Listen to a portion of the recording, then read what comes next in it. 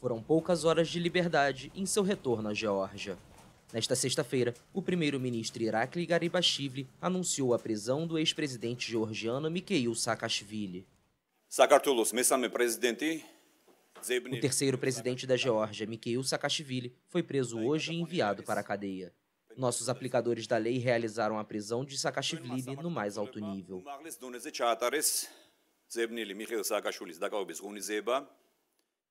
Segundo o chefe de governo, as forças de segurança monitoraram o deslocamento do ex-presidente a partir da Ucrânia e decidiram realizar uma operação policial no local e no momento em que havia menos obstáculos para a detenção.